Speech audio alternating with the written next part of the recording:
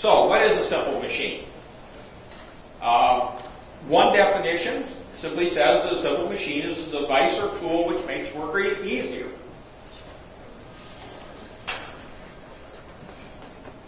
We recognize for this event the six classic simple machines.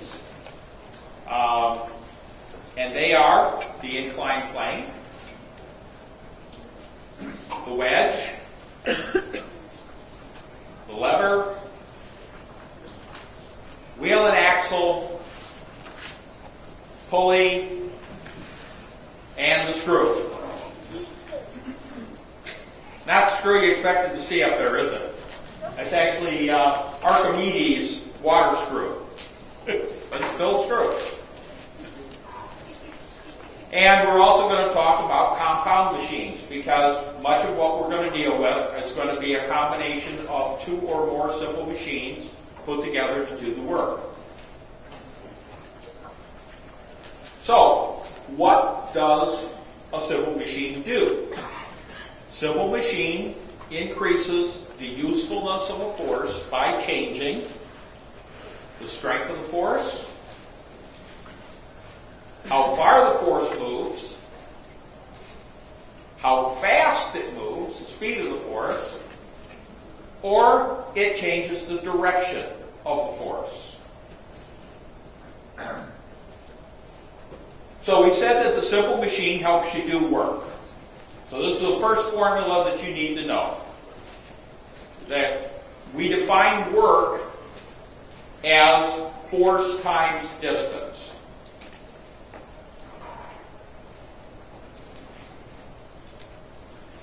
If there are no friction losses, the ideal machine, then whatever amount of work is applied to the effort has to equal the apply of the work done at the load. We use the formula work in equals work out. Substituting the prior formula within that, we get input force times the distance the input moves equals the output force times the distance the output moves. For our purposes for this event, all simple machines are going to be ideal machines. There will be no, we will totally ignore anything having to do with friction or anything else like that. We will use the ideal condition for everything. Okay. When the force applied to the load is more than the effort to move it, we call that mechanical advantage.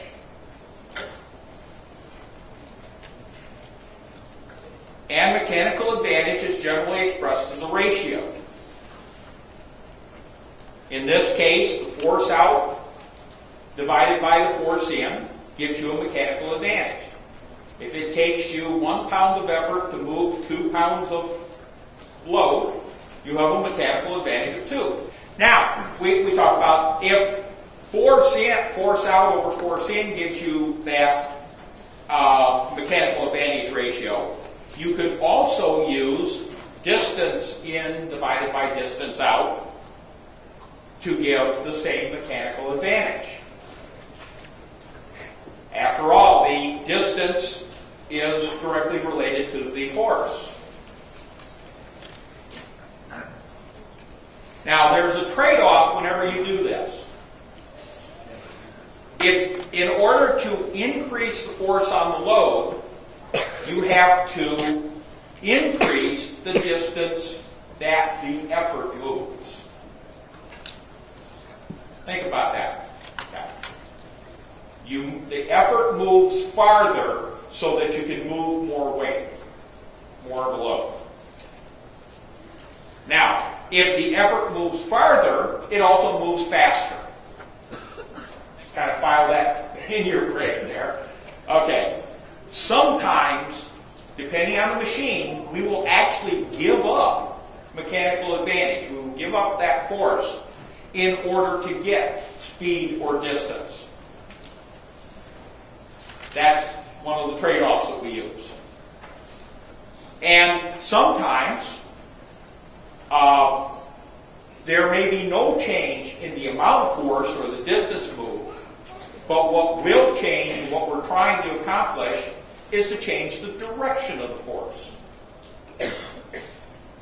Okay. So, let's go back to our simple machines and let's look at each one individually.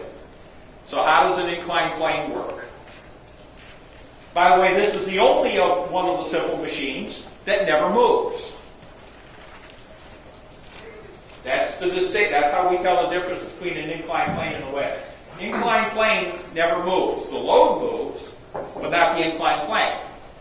We determine the mechanical advantage of the inclined plane by comparing the length of the ramp, the slope, to the height. Because the mechanical advantage in this case is the difference between the force it takes to push the object up the ramp compared to lifting the object straight up. That's where we determine the mechanical advantage. That's, that's what the inclined plane does for it. For us, it allows us to move the load without having to just literally lift it straight up. Okay, so you can determine an approximate mechanical advantage for the inclined plane simply by uh, measuring the length of that slope and dividing it by the height of the ramp. Now, how does, how does the wedge work? Now, in this case, it, the wedge has to move. The effort in this case is applied to the wedge as opposed to the, to the inclined plane where you're applying the effort directly to the load. Okay. In this case, we do change the direction, but we change it by roughly somewhere in the neighborhood of 90 degrees, give or take. Depends on how um, how narrow the wedge is, and we don't need to really worry about the exact number. Just kind of you get the idea. You're going to prep, in this case, you're going to pound down on the wedge and it's going to cause the log to move sideways apart. Okay. The easiest way to estimate the mechanical advantage here is to compare the length of the wedge to the widest part of the wedge. Again, you get a nice ratio. Uh, just sort of eyeballing the picture there, it looks like that wedge is about three times long, longer than it is wide. So roughly, uh, its mechanical advantage is roughly three. Now you notice I'm talking averages here. I'm talking approximate. Because you kids are never going to have to give me an exact number. I want you to be able to, to estimate the mechanical advantage so that you can compare how the mechanical advantage will change. Will it increase or decrease? Should we change the size of the parameters of the simple machine? Okay? All right, let's move on. Levers. And a real nice, nice quote from Archimedes. I mentioned him earlier. And he said, Give me where to stand and I will move the earth. And of course, the implication there is that he also has a lever long enough and a place to stand. But yeah, in fact, sometimes you see the quote as, uh, Give me a lever long enough and a place to stand. But uh, that's not the truth. Okay. So, levers. Levers, we, we talk, we recognize three parts to the lever. The effort point, the fulcrum, and the load. Talk about levers. Now, first class lever. Now, just so you know, I, I, I'm going to talk about first, second, and third class levers. At this point, I don't expect to ever ask you to identify them by first, second, or third class. As long as you can figure out how they work, uh, I'm okay with that. I'm, I'm not, there's not going to be a question on the test that says, you know, is this a first, second, or third class lever? I'm not going to do that. I have a hard enough time, keep, time keeping them straight myself.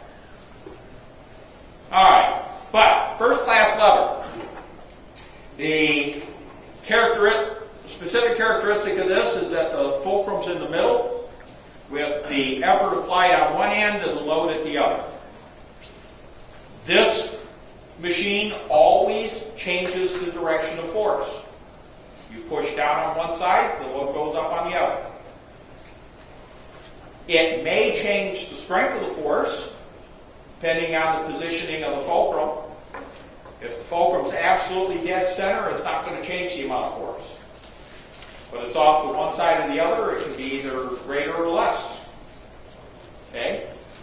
It may also change how far or how fast the force moves. A second class lever is one where the fulcrum is all the way at one end, the effort's at the other end, and the load is in the middle. Now, this does not change the direction of the force. You lift up on the one end to lift the left, uh, the effort goes up, well, so does the load. It also moves up. This, this class of lever will always increase the force on the load. And of course, the effort always moves farther and moves faster than the load does. Our last one is the third class lever. This also does not change the direction of the force. However, and you can see it actually requires more effort to move the load. The effort will be greater than the load. So you have a mechanical advantage of something less than one. The purpose of this type of a lever is to gain distance or speed.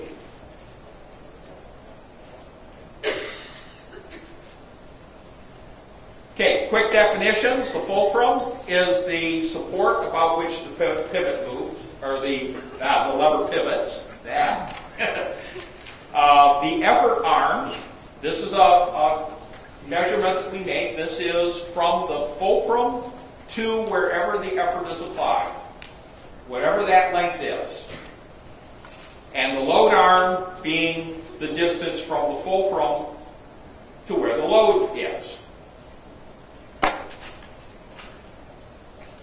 We, we can estimate the mechanical advantage of a lever by comparing the length of the effort arm to the length of the load arm. Now, I only show the first class lever here, but if, if this were a second class lever, where the fulcrum's all the way, take the load of the fulcrum and kind of reverse positions on those. Uh, your effort arm is still, from wherever the effort is, all the way to where the fulcrum would be, and the load arm from the load to the fulcrum. I probably should have thrown up an extra slide or two here. but, uh, so anyway, uh, also, my formatting got a little bit off, but okay. So, oops, that's not what I meant to do. okay. So, typically, the mechanical advantage is the easiest way to calculate it is to measure the length of the effort arm and divide that by the load arm. Okay. So, let's move on. The next machine is the wheel and axle. Uh, this will always change the strength of the force. It will change how far and how fast load moves as compared to the effort. But it does not change the direction of the force. Whatever, whatever direction the wheel rotates, the axle is going to go the same way. So it's not going to change the direction.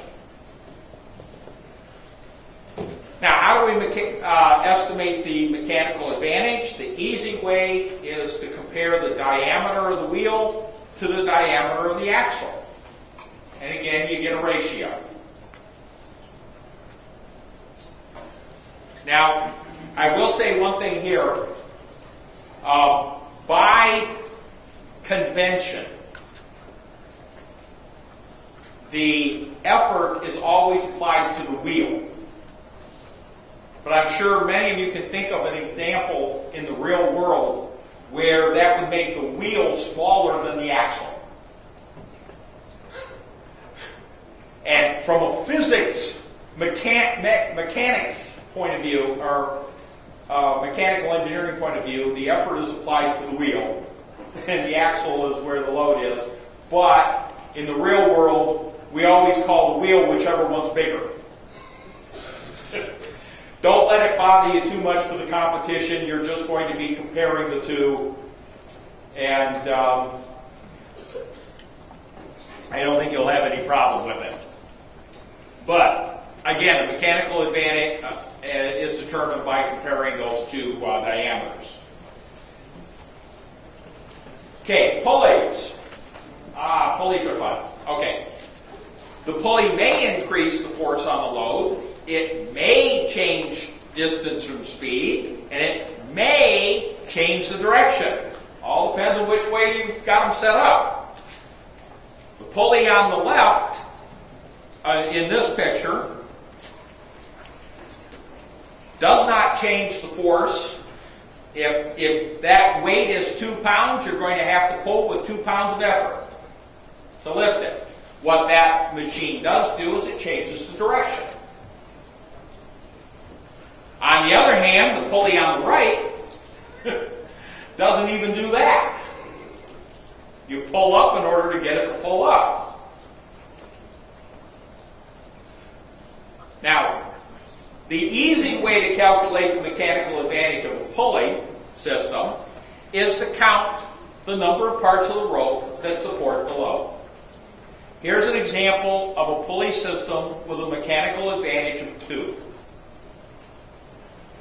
If the effort has to pull six inches, each of those two strands going around the bottom pulley are each, it's going to shorten by three inches on each side to take up the six inches. Right?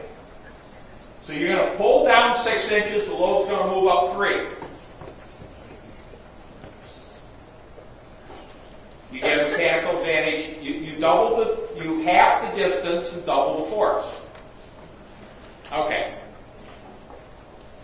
Here's our couple of examples. Here's one that show on the right, I'm sorry, on the left, that shows a mechanical advantage of three. In this case, if you look closely, you'll see that the top pulley is a double, where the bottom is a single, so that you can get the extra strand. The pulley on the right uses two doubles, double pulleys, and of course you have four strands supporting the line, the load, and your mechanical advantage is four. Now, you can prove this by you know, getting a ruler out and using force gauge and everything else, but I'm giving you the kind of the shortcut here. okay. Screws. Now, a screw may change the strength of the force. In fact, it usually does. But depending on the how far the screw moves for each revolution, that may or may not be true. And it may change the distance and speed. What it does do is it does change the direction of the force. You're changing a rotating effort changes to a linear motion about nine, roughly nine, again, 90 degrees to uh, the effort. Estimating the mechanical advantage of a screw is a little more complicated because what we're going to compare is what's called the pitch of the screw to the circumference. The pitch is quite literally just the distance between one thread and the next one.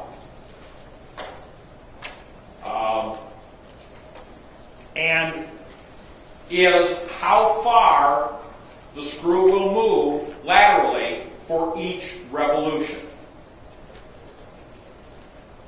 And of course, the circumference, easiest way is to measure the diameter and multiply by pi.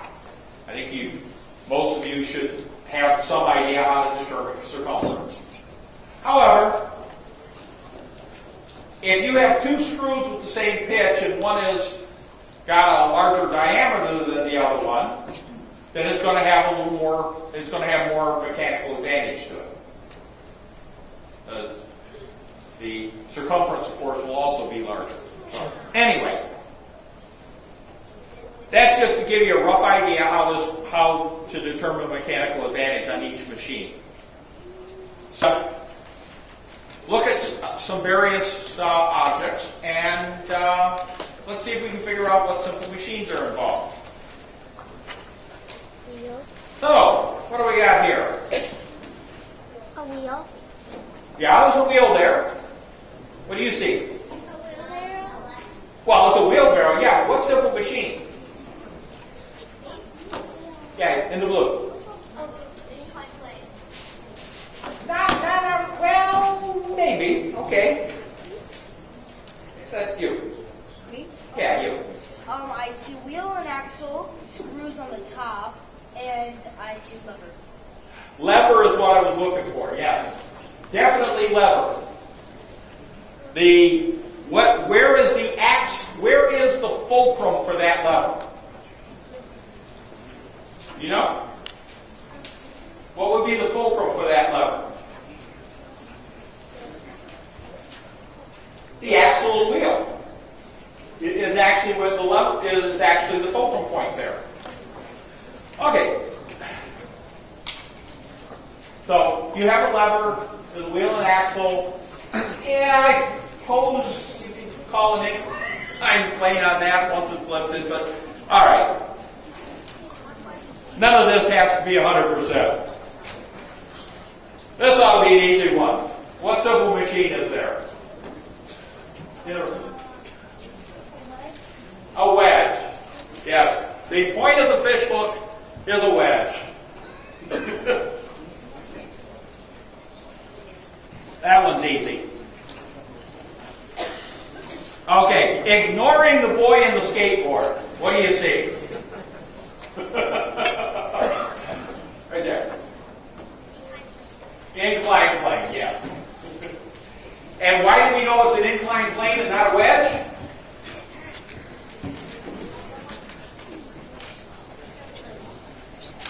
It doesn't move. The boy moves, you know, but, but the plane, the inclined plane itself doesn't move. So that's why it's an inclined plane.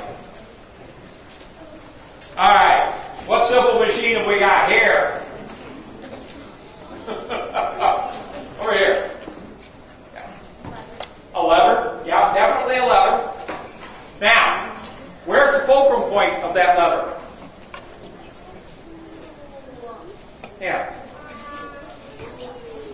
Fulcrum. Where's the fulcrum point? I at the bottom.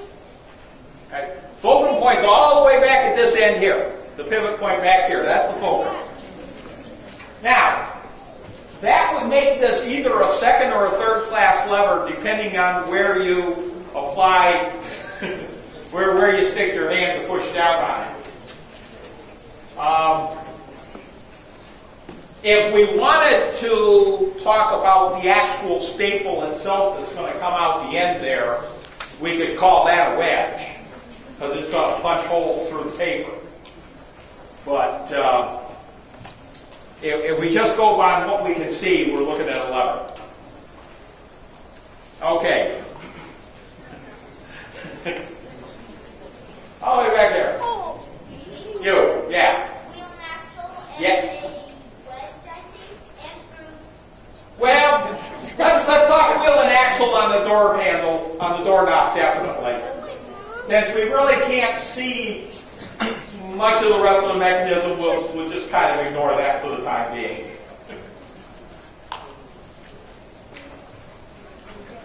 Okay. All right.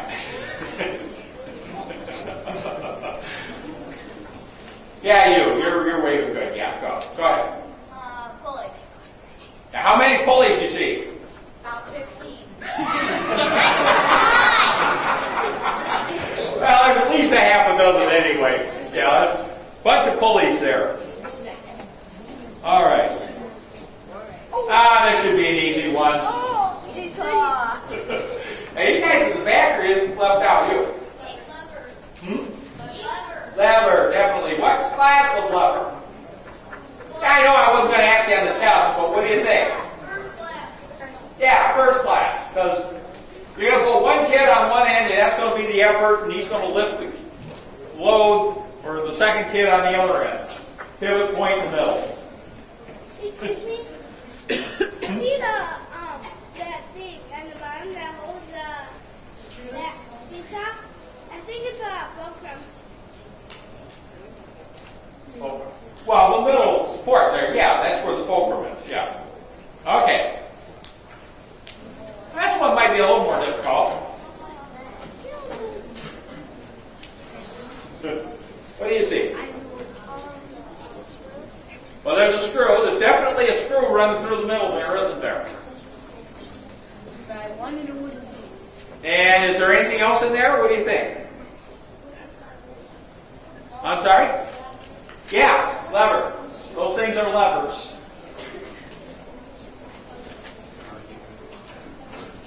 Okay. Now, it's not pictured here in the in the picture here, but usually, you know, this is this is an automotive jack. And when you use this type, you've got to have a handle, and it's sort usually a crank type thing. So then you'd have a wheel and axle. But since it's not in the picture, it doesn't count. All right, what what do we got here? Oh, let's see. Yeah, what do you think? A wedge.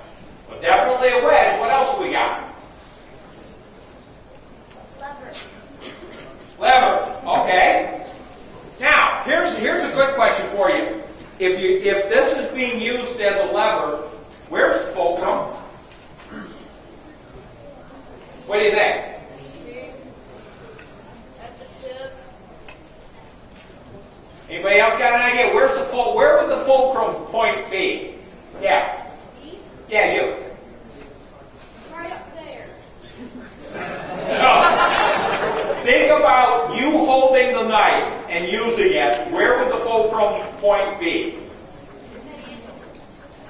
Actually, your wrist. Your wrist is the fulcrum. Okay? Which makes it a third class lever. which you won't be asked to identify. Which, which you won't have to know. That's right. Okay. Everybody's hands up on this one. I'll save you the time. Incline plane, right? Yes. Everybody agrees? Okay. All right. What simple machine have we got here? Yeah, you.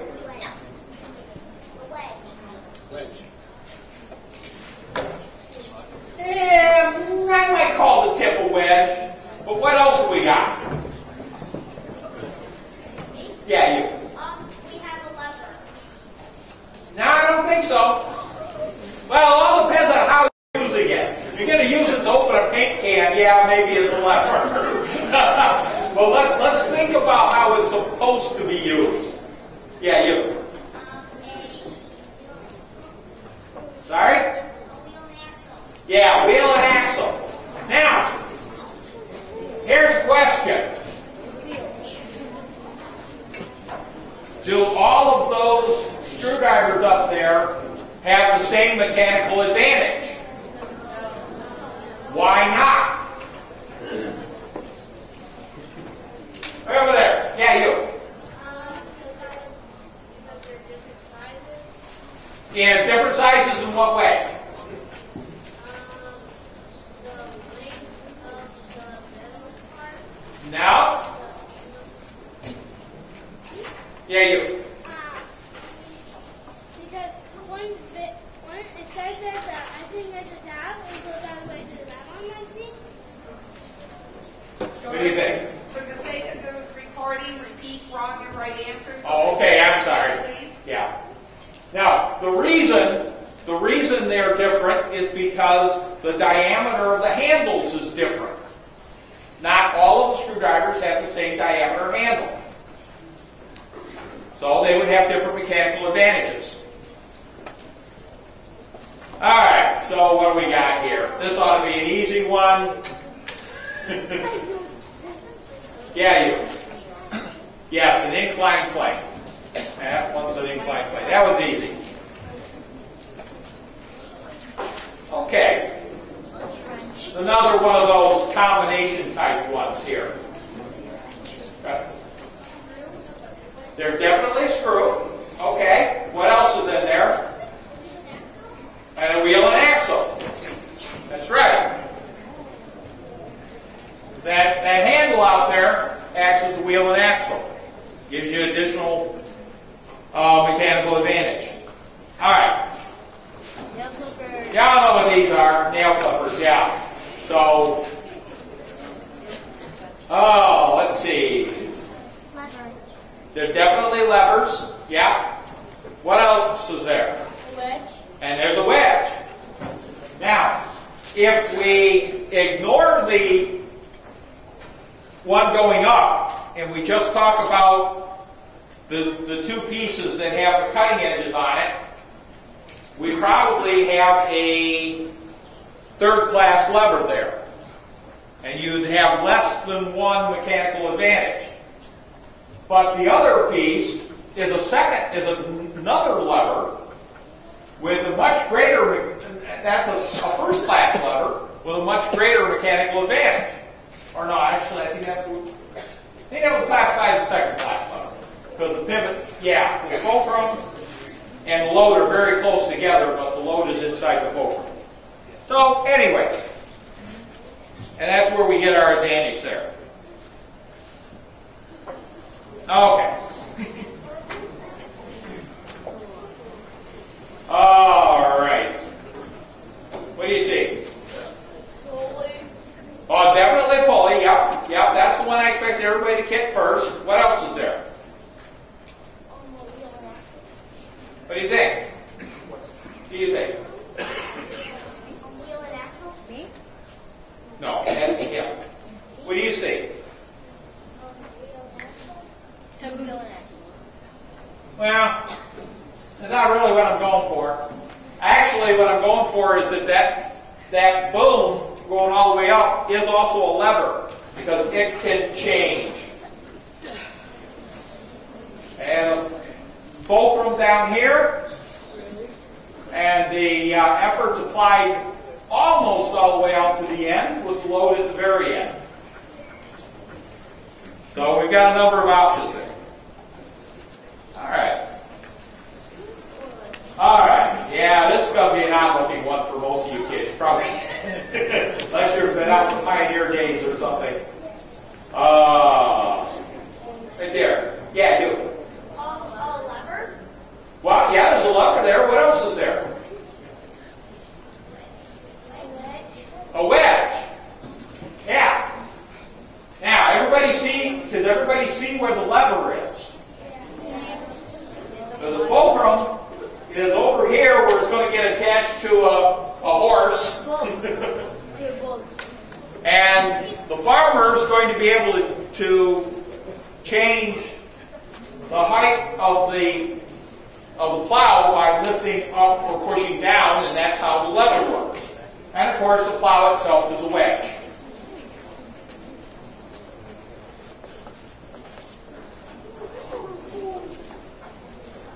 Okay. now, I'm trying not to ignore everybody. Way over there, what do you think?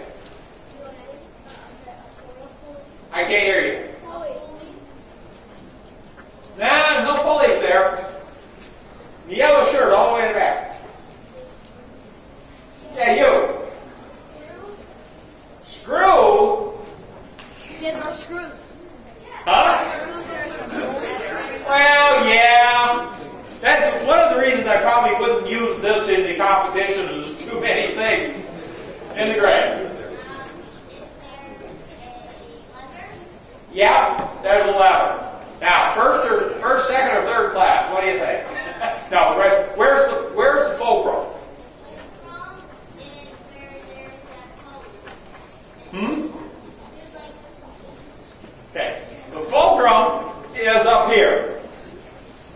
Now the load goes in the pan, and in this case, you've actually got three lever bars going out there, going to try to calculate the mechanical advantage, you'd have to calculate each weight on each one of those three bars and how far out it is to get uh, force and distance and add them all together. Now, would you expect them to be able to do that in competition? Probably not. Okay. no, they're not. You're unlikely to see anything like this in the But competition. too much for the competition, guys. Yeah, but it's a nice exercise to look at this stuff, real world things, and see what you can figure out. Okay. what do you think? A wheel and axle. Yeah, wheel and axle. Wheel and axle is what you can actually see. If I use this in a competition, I prob and you put down screw, I'd have to give it to you because of the threads on the end of the faucet there. If I was doing this in a competition, I'd probably pick a faucet that didn't have that. Um, now, if you could see inside the faucet, you'd find screw a screw mechanism inside, but yeah. Right now, we're mostly looking to see the wheel and axle there. Okay. First of all, you know what this is? Got an auger. But yeah, uh, and red black there. Um, it would be a, a wheel and axle and screw. Yes, wheel and axle and screw. And although it's hard to see, if down here at the bottom, if there was a point, then we'd have to give you a wedge too.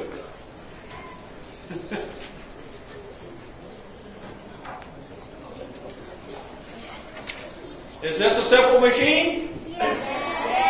No. No. Yes. No, it isn't. What do you think? Yeah, you. Uh, incline plane. Yeah, it's an inclined plane. I didn't know what It's kind of an odd looking inclined plane, but it still works like an inclined plane. Okay. This was a little bit of a ringer. Ginger skeleton. Now, you have to understand how this um, object is used. It's called a rasp, and generally you use it to file away, to take away bits of wood. So, and the red over there. Definitely a wedge. In fact, a whole bunch of little bitty wedges. Every tooth of that file is a wedge. Okay. All right, so the whole point of that exercise is to get you to start looking around at things in the real world. Let's talk about the district and the county competitions real quick. Um, there are going to be 10 stations. You're going to get two minutes per station. Uh, all the tests are going to be multiple choice. Um, I will provide scratch paper and rulers. No calculators allowed. Basically, a kid should show up at the door with a pencil. And you'll be just fine. And knowing how to fill out a Scantron. Yeah. So, what we're going to do now, what I've given you there, the sheet of paper you have are the questions for station one and station two. So this was station one, pair of scissors. And the first six questions were whether, you know, what simple machines were found in the object. And of course, there were levers and wedges. Everything else should have been no.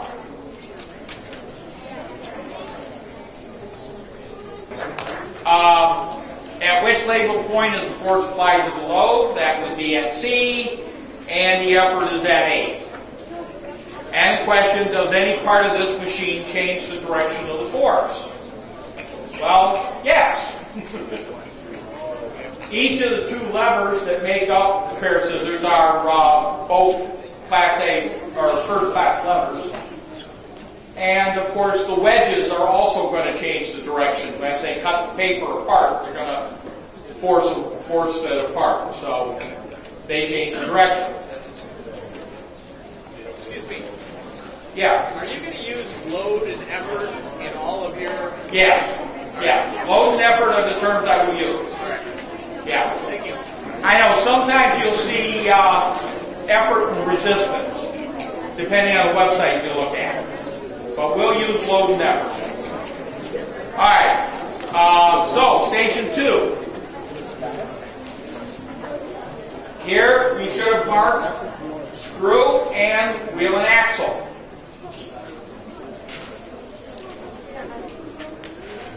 Okay, does any part of this machine change the direction of the force? Well, the wheel and axle part doesn't, but the screw does. Because as you rotate it, it pulls it into the socket. And of course, it's force on the load less than or greater than the effort applied, greater than. That, that large bulb gives you a fair amount of mechanical advantage. Uh, even the screw part also gives you a fair amount. And so, of course, the effort and uh, moves both faster and farther than the load does. So,